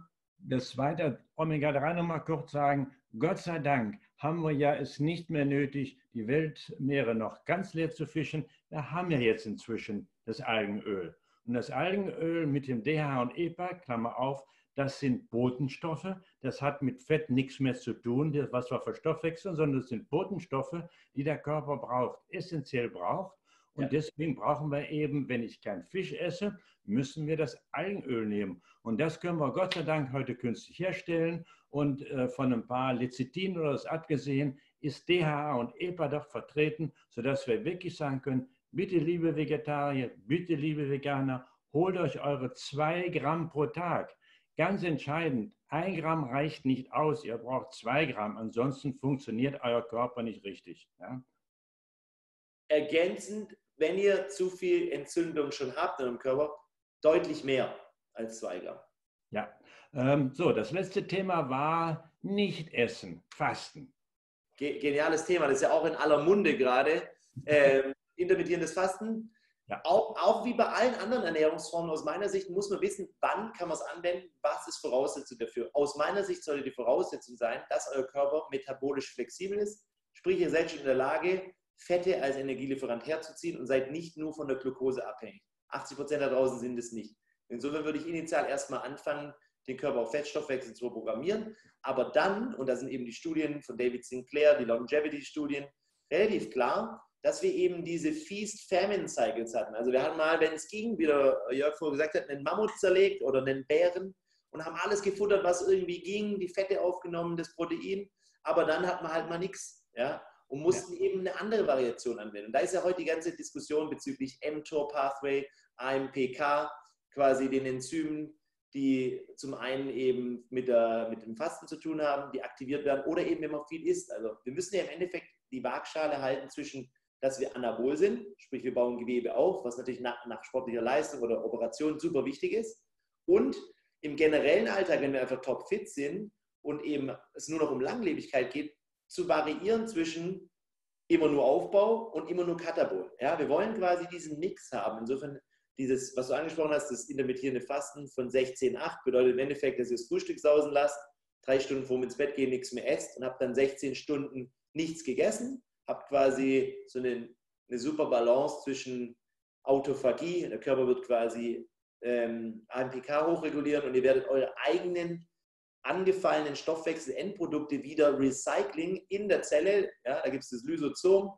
Im Endeffekt packt der Körper das da rein und es ist, kann man sich vorstellen, wahrscheinlich wie eine Salzgrube oder viel HCl und es wird dann in die einzelnen Bestandteile zerlegt. Also kaputte Proteine oder Fette werden wieder aufgespalten. Der Körper verdaut sich sozusagen selber was eben eine Strategie ist für Langlebigkeit. Ja, das Gegenteil von mTOR. mTOR ist im Endeffekt ähm, dafür da, Gewebe aufzubauen. Und weder noch, das ist auch schon wieder so eine Diskussion, die die ganze Zeit kursiert, nichts ist gut oder schlecht. Es ist scheiße, wenn ihr nur Katabol seid und nur fastet. Da werdet ihr kachektisch und Sarkopenie und verliert eure Muskulatur. Ihr müsst den, den, den Trick finden, die Balance. Zuerst metabolisch flexibel sein, mit Fetten umgehen können, dann was habt ihr an Energielevel? Ich bin Athlet, ich mache ja sehr, sehr viel Sport, brauche wahnsinnig viel Energie. Sprich, ich bin ein Fan von zwölf Stunden nichts essen. Das ist für mich Fasten genug. Und wenn ich keinen Sport mache an dem Tag, dann mache ich auch 16,8. Während Leute, die eher sitzen und nicht so viel Sport machen, den kann man super gut 16,8 empfehlen. Also Studienlage ist eigentlich klar, dass es mehr als zwei, dreimal die Woche nicht unbedingt einen Benefit bringt, aber was auf jeden Fall klar ist, wenn ihr euer, man kann es auch, ich finde es fast besser, das Time Restricted Eating zu nennen, wenn man quasi das Essensfenster ein bisschen reduziert, ist für jeden hier drin gut. Und auf jeden Fall, ich habe es messen können mit meinem Aura-Ring. Ich muss spätestens drei Stunden vor mir ins Bett gehen, essen, um einfach super schön in den Tiefschlaf reinzukommen, weil mein Körper sonst einfach die ganze Zeit, die ganze Nacht zu stark verdauen muss. Ich denke mal, das kannst du wahrscheinlich unterschreiben. Ja. Zu diesen ganzen Autophagie, AMBK, mTOR. Essen, Essen, Stress. Und äh, die Experten ähm, sind also da sehr von angetan, weil es eben auch natürlich ist. Wir haben das immer gehabt, das Fasten. Und äh, man kann das zusammenfassen auf einen wieder mal einen griffigen Spruch. Ähm, das Fasten ist für den Körper wie beim Computer der Reset-Knopf fürs Programm. Ja, wenn der Körper nicht mehr richtig hinkommt, man drückt dann auf den Reset-Knopf Fasten, sagt er, klasse, Ruhe im Laden, ich kann mich um mich selber kümmern, ich kann regenerieren und so weiter und so fort. Und dieses automatische Programm, was wir haben, dieses eingebaute Regenerationsprogramm, kann man eben sehr einfach starten, indem man dem Körper sagt, komm her, 16 Stunden lang kriegst du nichts zu futtern oder auch mal einen ganzen Tag. Aber das ist schwieriger, äh, während die, das Frühstück wegzulassen, ist überhaupt kein Thema. Man gewinnt morgens eine halbe, dreiviertel Stunde, wo man da nicht äh, rumsitzt und fertig und kann also eher sich an den Schreibtisch setzen oder eher losfahren oder später aufstehen oder was auch immer. Das heißt also, ist überhaupt kein Problem. Ich selber bin Kohlenhydrat-Junkie gewesen. Ich bin also mit Kohlenhydraten groß geworden. Ja, Brot, Brot, Kartoffel. Und ich habe vor allen Mahlzeiten habe ich Hunger gehabt. Richtig Bärenhunger und bin auch hypoglykäm geworden, das heißt unterzuckert bin also grantig geworden. Normalerweise kennt man mich als freundliche Menschen, aber dann bin ich grantig geworden. Die Kinder, ja, die Kinder kannten das schon, haben dann gesagt, Mama, gib dem Papa was zu essen, der ist so komisch. So, also immer. Und dann kam Low Carb und da ich alles ausprobiert habe, so wie du auch, habe ich dann gesagt, okay, dann haue ich mir morgens mal drei Eier in die Pfanne. Drei Eier reingehauen und dann angefangen zu arbeiten am Computer. Mittags um 1 Uhr habe ich gesagt, spitz, es ist ein Uhr, du solltest jetzt was essen. Kein Hunger, nichts, nada. Ja, das heißt, der Körper, wenn er nicht diese Blutzuckerspitzen hat, da kommt auch das Hungergefühl nicht mehr so auf. Es ist einfach weg. Wenn, ja. ihr ohne, wenn ihr eine Flatline Blutzucker habt und das geht, wenn der Körper mit Fetten umgehen kann, dann ist es wirklich so, ihr braucht eigentlich nicht essen, weil er verdaut sich an sich selber. Es ist nur stressig, wenn ihr noch maximale, ich nenne das mal Carbivore seid, also nur noch hangry unterwegs seid, weil er ständig Blutzucker, Unterzucker hat. Das ist auch wieder hat was mit Hormonen zu tun. Ich mache das voll zu Ende, weil da haben wir noch ein paar Fragen, sehe ich hier gerade im Bild. Okay. Wenn hier, da gibt es Hormone irgendwie und da gibt es das Peptid YY. Ja? Es gibt einen Sättigungsgradient, je nach Makronährstoff. Protein hat einfach das höchste Sättigungsgefühl. Insofern ist es wahnsinnig wichtig, dass ihr eigentlich mit Protein immer startet, weil daraus wird alles aufgebaut. Danach gefolgt von Fett. Fett sättigt auch noch natürlich. Was nicht fettigt, äh, was, was nicht sättigt, sind Kohlenhydrate. Die lösen überhaupt gar nicht dieses Hormon aus. Deswegen, wenn ich Kohlenhydrate esse an manchen Tagen, ich habe auch wieder ständig Hunger, was echt nervt, weil es ist tatsächlich entspannt, wenn ihr einfach den ganzen Tag irgendwas machen könnt und ihr müsst gar nicht erst essen. Wobei ich natürlich auf der anderen Seite auch ein Genießer bin und sehr gerne esse. Aber Dominik, wenn du dann noch Übergewicht hast und laufend Hunger hast, du wirst immer dicker und immer dicker und immer dicker. Das ist das Problem. Wir sind nicht vom Fett fett, sondern von Kohlenhydraten. Ganz genau. Und natürlich, wenn ihr immer dicker werdet, immer dicker seid, das ist, liegt ja auch natürlich noch an Insulin und Leptin. Und Leptin ist eben ein Hormon, das eben auch über den Hypothalamus, über Füße gesteuert wird und im Endeffekt Starvation zeigt. Das heißt, ihr seid überfüttert, aber euer Gehirn durch den erhöhten Leptin- und Insulinspiegel realisiert gar nicht mehr, ja. äh, dass der Tank längst voll ist und produziert immer weiter, immer weiter, immer weiter. Ihr habt quasi ständig Hunger. Diese Hormone muss man unterbrechen. Und ähm, dann wird wieder ein Schuh draus. Deswegen empfehle ich als Life-Changer oftmals eine initiale Paleo-Ernährung oder sehr, sehr Low Carb, sprich ja. Protein, diese 1,5 bis 2 Gramm pro Kilogramm Körpergewicht, sagen wir mal, die Fette, die guten, könnt ihr in meinen Tabellen nachgucken, die guten Fette nach Bedarf, damit eben der Körper auch Energie hat, also nicht hungern.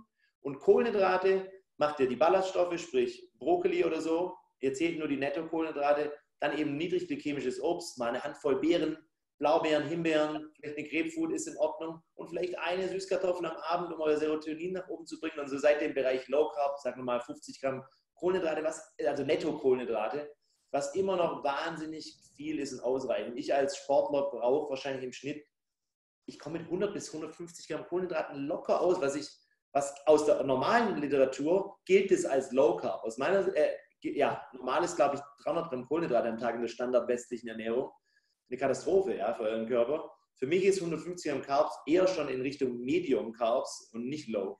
Aber wenn du ordentlich unterwegs bist, nur dann. Ne? Wenn ich ordentlich, und wenn ich keinen Sport mache, an Tagen, wo ich nur arbeite, oder dann esse ich gar keine.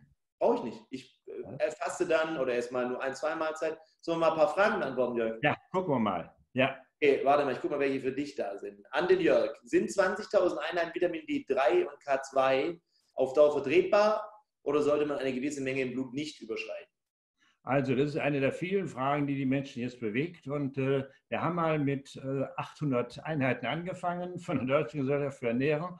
Das ist wie bei, bei den ähm, Proteinen, das ist eine Mangelernährung. Das ist ein Mangelzustand, der nicht ausreichend. Und ähm, die 20.000 pro Tag sind reichlich, Klammer auf, es sei denn, man ist irgendwo so bei 120 oder 150 Kilogramm unterwegs. Dann braucht man natürlich auch die doppel- oder dreifache Menge. Wir sagen heute, ein Zielbereich von 40 bis 60, vielleicht auch 70 wäre ganz gut. Wobei auch hier äh, zu sagen ist, das wird schwierig, aber vielleicht in den Körper reinhören. Wenn ich zum Beispiel ähm, eine Autoimmunerkrankung habe und habe einen Spiegel von 50 oder 60, dann denke ich mal, ist zu überlegen, ob ich vielleicht ein äh, Insulin, nicht Resistenz, aber nicht Insulin, Entschuldigung, eine Vitamin D-Schwäche habe und brauche mehr. Aber dann muss ich mir einen Arzt suchen, der das begleitet. Dann muss man das sehr sorgfältig machen und nicht einfach beliebig viel davon nehmen. Auf der anderen Seite, mit 20.000 pro Tag passiert in der Regel auch nichts.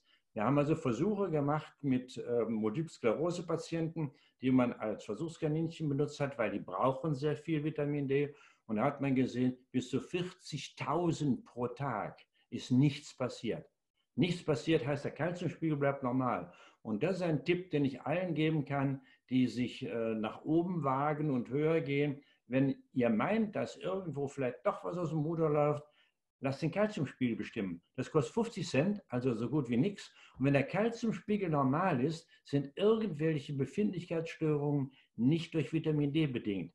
Denn Vitamin D ist nicht das Problem. Das löst nichts aus, sondern die aktive Form des Vitamin D erhöht den Kalziumspiegel. Und das Kalzium ist für viele Dinge zuständig im Körper, für die ganze Elektrik und so fort. Und wenn das Kalzium zu hoch geht, dann haben wir ein Problem. Also bei Fragen, ob es zu hoch ist, ob es eine Intoxikation ist, dann bitte Kalziumspiegel bestimmen. Und bei den meisten Menschen ist da gar nichts.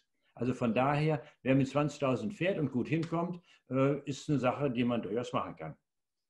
Weil hier relativ viele Leute direkt, also 100% d'accord, das Boning-Protokoll, das ich ja damals entwickelt habe, basiert auch auf 20.000 Einheiten Vitamin D3 täglich. Wobei man dazu sagen muss, dass eben alle Kofaktoren mit reingerechnet sind. Und hier stehen relativ viele Fragen zu Kofaktoren. Ich würde einfach mal kurz die Folie zeigen, oder? Das ist am einfachsten.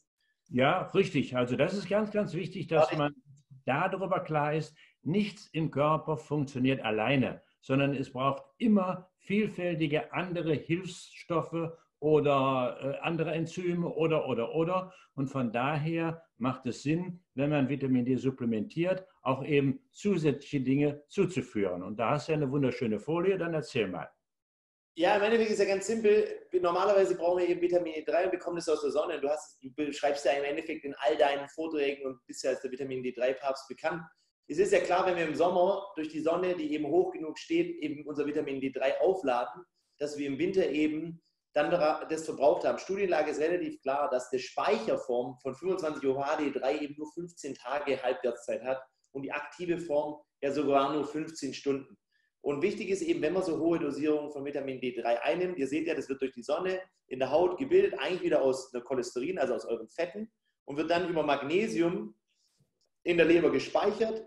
Die 25 OH-Form ist die, die wir messen. Die sollte über 70 Nanogramm sein und die wird dann nach Bedarf einfach in den, in den Nieren aktiviert. Und Vitamin D3, wie der Jörg gesagt hat, ist dafür da, Kalzium äh, rückzuresorbieren und eben dafür sorgt dafür, dass Kalzium nicht in euren Gefäßen rumschwimmt, sondern eben in Knochen und Zähne kommt und eben für die ganzen Genaktivierungen und so weiter vorhanden sind. Und deswegen liefert, ich stelle mir es immer so vor, wie bei damals, kennt ihr noch, es war einmal das Leben, diese, Zeit, diese Comic-Show äh, als Kinder, wenn eben die, die Immunzellen durch die Autobahn des Körpers fahren. Also stellt euch vor, ihr habt einfach jetzt Ziegel rumlegen, das Kalzium in eurem Gefäß, ja, auf Paletten und zwei Laster. Das sind diese Enzyme MGP und BGP, die ihr in der Mitte vom Bild seht.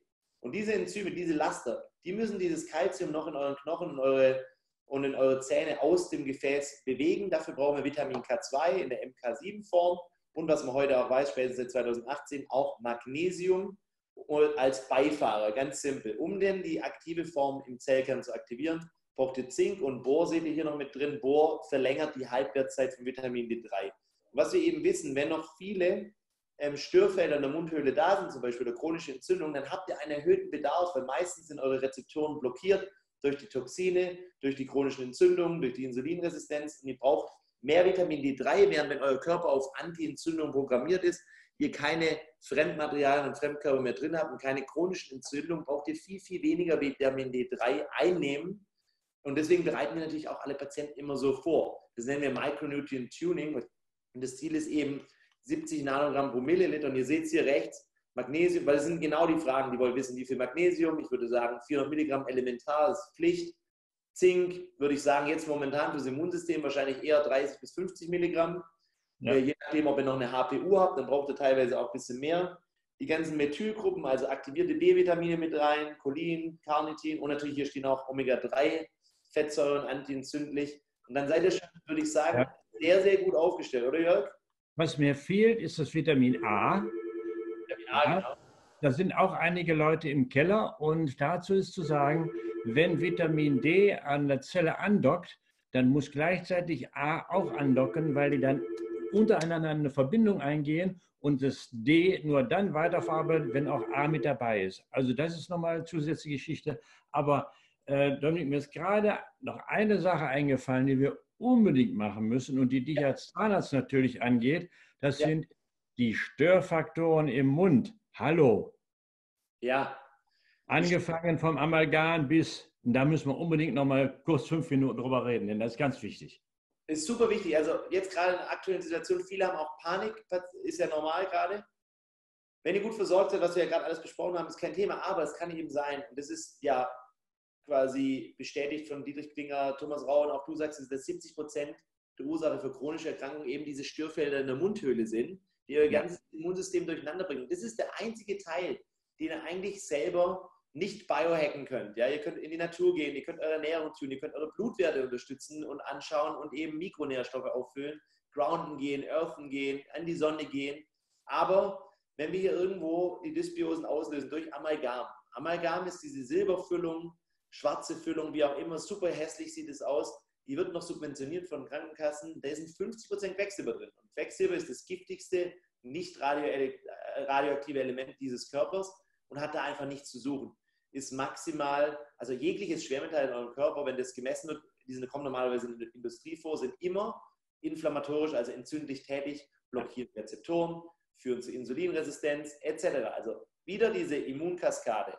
Immunologie, also Immunsystem greift an, Makrophagenaktivität, Zytokine, aber auch wieder Toxikologie. Und du hast ja vorher gesagt, Toxikologie ist dosisabhängig, Immunologie ist nicht dosisabhängig. Ja. Jegliches Metall in der heutigen Welt ist Problem, weil und es ist auch wieder zusammenpassend zu, zu äh, Coronavirus, ist einfach, Elektro, macht euch elektrosensibel. Wir haben ja überall WLAN, Handysendefunk, 3G, 4G, 5G und elektromagnetische Felder ist ganz klar, sagt der Ding hat schon ewig, ähm, die machen die ganzen Mitbewohner in eurem Körper mehr aggressiv. Die brauchen mehr äh, Stoffe, die werden virulenter. Und ähm, wenn ihr da in eurem Mund Metalle oder auch eine Hüfte aus Metall oder ein Titaniumplantat eingebaut habt, habt ihr da Mikroantennen, die eben diese elektromagnetischen Felder noch verstärken. Und es gibt sehr, sehr viele Patienten heute, die elektrosensibel geworden sind. Und ähm, da muss man wirklich genau danach gucken. Ein weiterer Punkt, ein weiteres wichtiges Störfeld oder was eine andere Problematik ist, sind immer Wurzelbehandlungen aus biologischer Sicht. Die Wurzelbehandlung ist eine tolle Therapie als Schmerztherapie, um eben kurzfristig diese Megaschmerzen wegzubekommen, weil ihr ein riesen Loch hat in eurem Zahn. Auf Dauer aus biologischer Sicht gesehen muss man das ähm, ein bisschen kritischer betrachten, weil wir lassen im Endeffekt ein abgestorbenes Organ da drin stecken.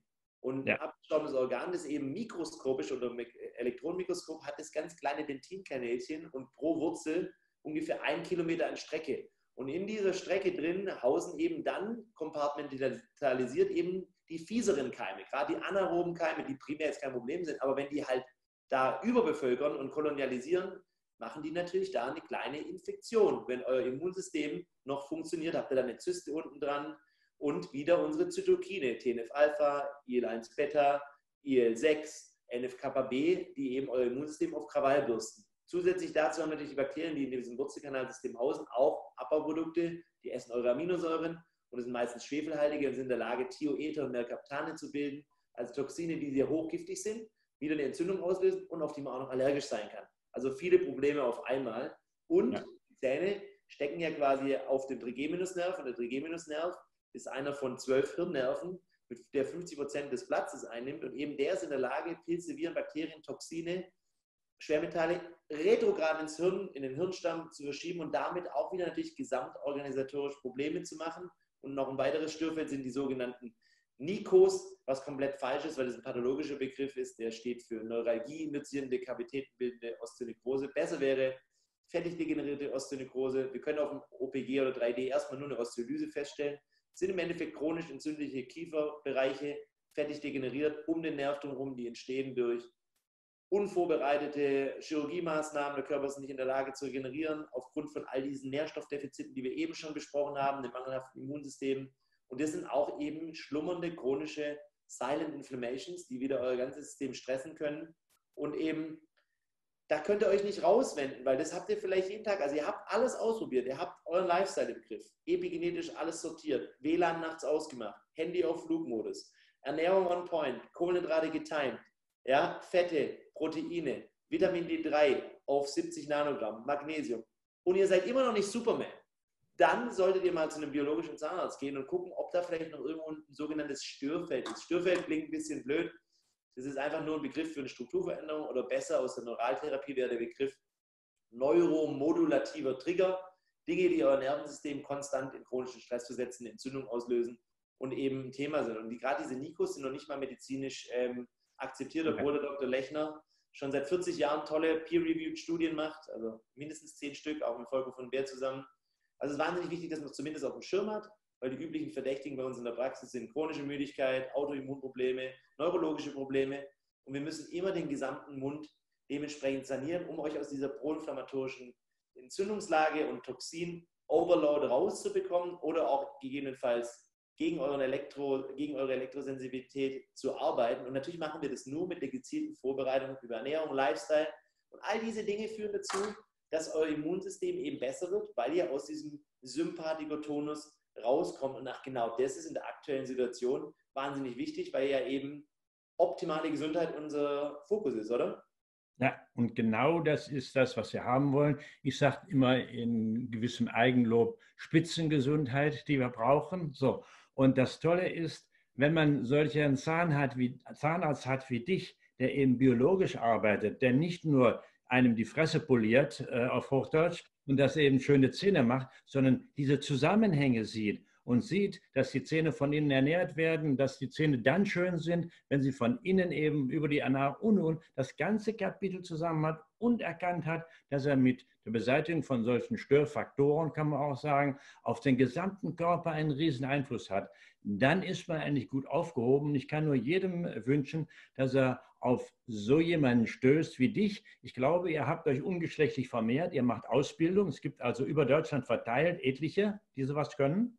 Ja, also wir bilden aus, der Ulrich Volz und ich zusammen haben damals das Curriculum ins Leben gerufen und über die Swiss Biohealth Education kann man das auch buchen. Bisher gibt es tatsächlich erst 30 Spezialisten für biologische Zahnmedizin und Keramikimplantate äh, und davon sind, ich glaube, ich würde mal sagen, 28 aus Deutschland.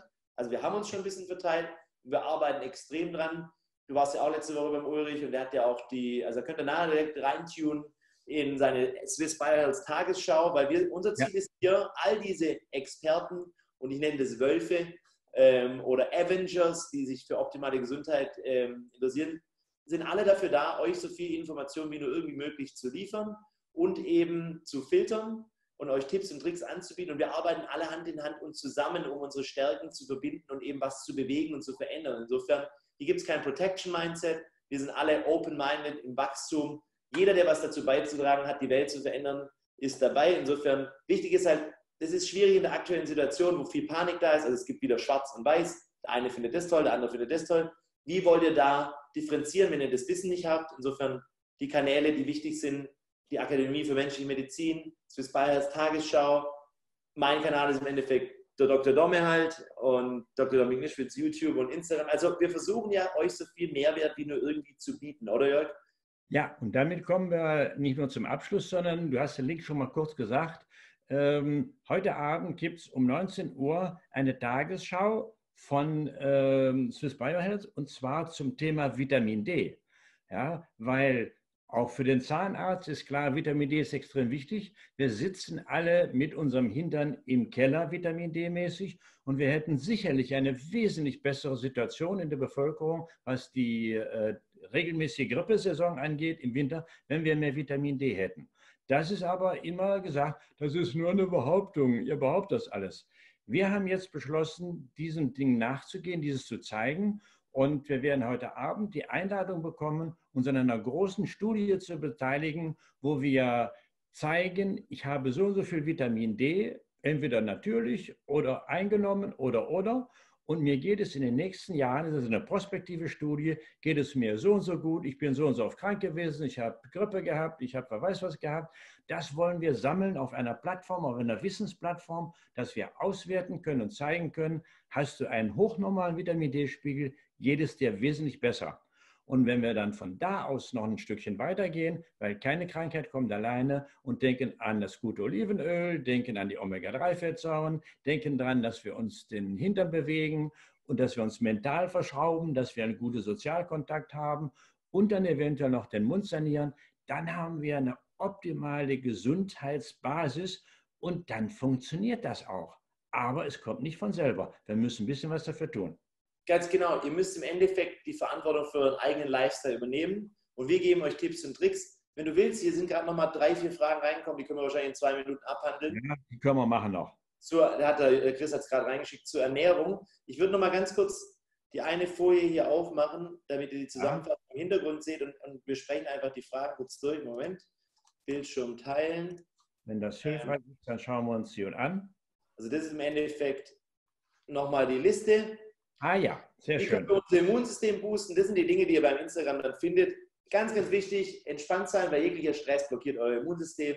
Hände waschen, wieder, wie der Jörg hat gesagt, der Vitamin D3 optimieren, wie wir das schon ewig machen und wie ihr nachher dann eben angucken könnt.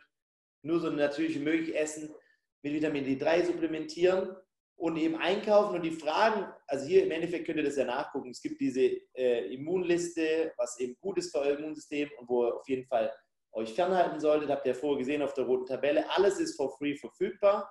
Und ähm, die Frage war nochmal ganz kurz, was ist schlecht an Milchprodukten und so weiter. Es ist ganz simpel. Ähm, Kuhmilchprodukt, die Kuhmilch ist im Endeffekt rein natürlich die Muttermilch fürs Kalb. Ja?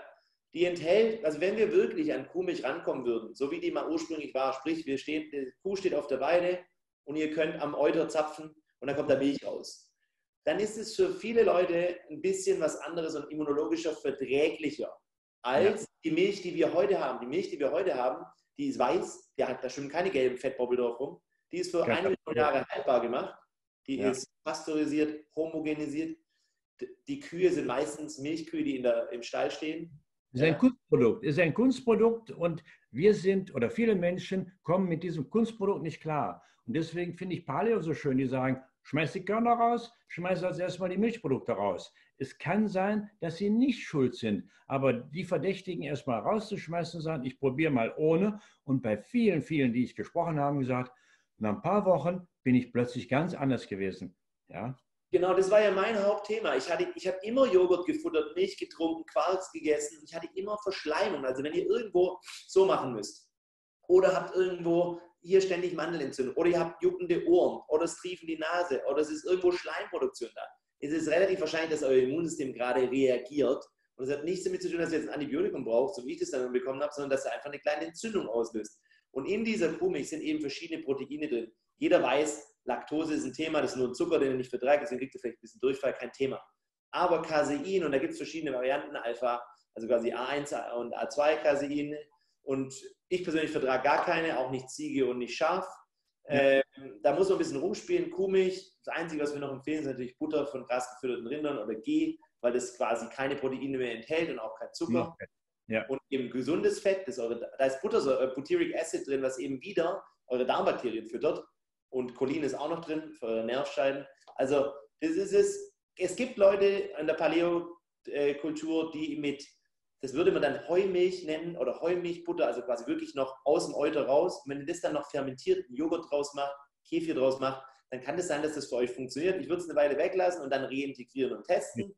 Man kann ja, wie gesagt, nicht schwarz-weiß machen. Aber alles, was ihr im Supermarkt findet an Kuhmilchprodukten, ist im Normalfall pauschalisiert für die Tonne. Und noch ja. eine letzte Frage sehe ich, Anni, da ist noch eine. Sind in Bohnen Eiweiß drin? Ja, in Bohnen sind Eiweiß drin. Bohnen dementsprechend sind aber ganz, ganz häufig voller dieser Antinährstoffe und wahnsinniges Allergen, vor allem Kidneybohnen oder weiße Bohnen. Wenn ihr die irgendwie verwendet, hatten wir vorher schon drüber gesprochen, müsst ihr die vorbereiten. Ähm, ich persönlich bin kein Fan davon. Warum Achtung bei Nüssen und Eiern? Eiern ist einfach vor allem das Eiweiß ist einfach überall reingekocht und immunologisch für viele Leute ein Problem. Aus ähm, die Galle und die Leber verträgt es dann nicht. Auch Viren, leider. Ja, das weiß man. Viren essen sehr gern. Ähm, Eiweiß brauchen die auch. brauchen auch Eiweiß, vor allem halt Ei, Ei, die besondere Struktur vom Ei. Und Arginin ist auch was, was natürlich auch teilweise wieder Viren füttert. Hier steht noch, hilft Lysin gegen Covid-19. Lysin ist antiviral, ja, insofern dementsprechend. Die Top 10 einfach nochmal zusammengefasst ist. Ihr müsst auf euren Proteinbedarf achten. Warum? Weil es die Basis für euer Immunsystem ist, für alle eure Enzyme, nicht nur für Knochenstoffwechsel und Knochenregeneration, sondern für euer Immunsystem. Jemand, der kein Fieber mehr hatte seit zehn Jahren, das ist nicht gesund. Ja, ich kriege 40 Fieber, wenn ich mal ein Virus habe. Warum? Weil erhöhte Temperatur killt Viren. Ganz normal. Dann Vitamin D3 optimieren. Wir wollen bei 70 Nanogramm oder 60 mindestens landen, lebenslänglich.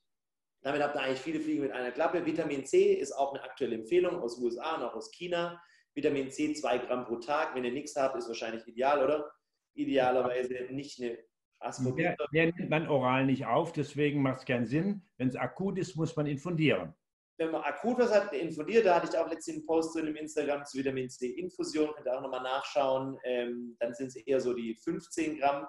Da hat China ja quasi den ganzen Weltmarkt aufgekauft, also es hilft auf jeden Fall, aber das könnt ihr natürlich nicht ohne Doktor machen. Ohne Doktor könnt ihr selber Vitamin C einnehmen. Die Ester C-Variante empfehle ich typischerweise, weil durch die Ester-Verbindung eben diese Bowel-Toleranz umgangen wird. Ich habe tatsächlich schon, kennst du Ester C? Ester C ist quasi auch eine gepufferte äh, Vitamin C-Form, das ist ein Patent aus den USA durch die Ester-Verbindung wird es aber unabhängig von der Bowel-Toleranz aufgenommen und je nach Stress, also ich nehme zwei Gramm im Durchschnitt am Tag, aber ich habe schon bei Sonnenbrand und akuten Übertraining bis zu 20 Tabletten auf einmal eingenommen, ja, aber kein Durchfall, gar nichts, du merkst nichts davon. Das wird okay. bedarfsmäßig ähm, dosiert ein bisschen wie Liposomales, wobei anders. Und dann, was man noch machen kann fürs orale Mikrobiom, und ihr wisst ja, die Viren halten sich in eurer Nasenschleimhaut auf, mal für sechs Tage oder im Sinus oder Mundschleimhaut. Ähm, was immunologisch gut wirkt im Mund ist einfach Propolis. Das weiß man schon. Da gibt es auch Studien, die zeigen, dass die Schleimhaut immunologisch gestärkt wird durch Propolis. Propolis enthält auch wieder alle Proteine und tolle antivirale Substanzen. Die Bienen stellen es her. Ja, für uns und für sich selber natürlich auch. Alles, was irgendwie funktioniert im Sinne von Öl ziehen, ist momentan toll. Kokosöl oder Monolauric Acid da drin ist antiviral, antibakteriell. Und wenn ihr Öl ziehen jeden Tag integriert und auch den Zungenschaber verwendet, dann habt ihr euer Mikrobiom auch nochmal ein bisschen besser. Öl ziehen, machst du wahrscheinlich auch oder kennst du auch. Ja. Kokosöl mindestens fünf Minuten im Mund lassen. Ihr könnt es mit zum Beispiel Propolis spiken oder mit ätherischen Ölen, wie zum Beispiel ähm, Oreganoöl oder irgendwas, was halt immunologisch funktioniert. Sie könnt euch da wahnsinnig viel mit Naturheilkunde beschäftigen und findet tolle antivirale Sachen. Ob das jetzt, so lange bis es halt noch, bis dann wieder Medikamente hergestellt werden, kann man natürlich unseren Körper natürlich so, so gut wie möglich tunen, oder? Jörg? Ja, wir haben einen eingebauten inneren Arzt und der ist der Einzige, der heilt. Nicht der Herr Professor heilt, sondern ich kann dem inneren Arzt helfen, ja, aber nicht wirklich heilen. Wenn ich als Chirurg zum Beispiel noch so sorgfältig den Knoten schlinge, wenn der Stoffwechsel nicht in Ordnung ist, bekommt er einen Platzbauch und stirbt. Dann nutzt mein Knoten gar nichts. So, Dominik, damit reicht es. Die Leute sind so platt, glaube ich. ich ja, es reicht für heute. Ich denke, wir werden das mal gelegentlich äh, wiederholen oder noch nach, äh, nachschieben, sodass wir uns dann auch vielleicht für einige Themen ein bisschen mehr Zeit nehmen können, ein bisschen detaillierter äh, erzählen können. Vor allen Dingen, du bist ja im Gegensatz zu mir, stehst ja mit beiden Beinen noch in der Routine drin. Das heißt, du kannst mal aus dem Nähkästchen plaudern, mit was für Problemen Menschen angekommen sind, was du mit denen gemacht hast und was dann daraus geworden ist. Was man in der Werbung offiziell als Arzt nicht darf, vorher, nachher. Aber wir können solche Fallstudien, können wir uns gerne mal anschauen, damit das mal plastisch gezeigt wird, was man wirklich so einem armen Schwein, der nicht mehr weiß, wie er vorankommt, Gutes tun kann, ohne riesengroße schulmedizinische Drogen, sondern mit naturorientierten Maßnahmen den Körper wieder auf die Reihe bringen. Genau wie du es gesagt hast, wir unterstützen nur den Körper und den inneren Arzt. Teilweise müssen wir Sachen komplett entfernen oder zugeben, damit ihr eben regenerieren und aufbauen könnt. Das macht der Körper alles selber. Wir persönlich helfen nur und unterstützen. Das ist quasi unsere Seele wohnt in diesem Haus und deswegen müssen wir das gut pflegen. Wir haben nur eins davon. Ja. Ähm, genau, ich werde auch auf jeden Fall unser Gespräch so ein bisschen als eine Infografik fürs Instagram und für YouTube zusammenfassen. Und ich glaube, der Chris speichert sowieso alles. Das heißt, auch wer jetzt nicht live dabei war, kann sich das im Nachgang bei uns. Ich nochmal schauen. Ja, ist, unter dem Video wird es gleich dann mit Sicherheit auch nochmal die Links geben zu deinem äh, Homepage, zu unserer Homepage und auch für heute Abend die Tagesschau, wo es die Vitamin D-Studie gibt. Ja, okay. 30, 40 Minuten Pause, könnt ihr was Abendessen und dann geht es direkt weiter mit der Tagesschau. Dominik, sehr herzlich bedankt, war ein tolles Gespräch. Also, macht immer Spaß mit dir. Tschüss. Ciao, ciao.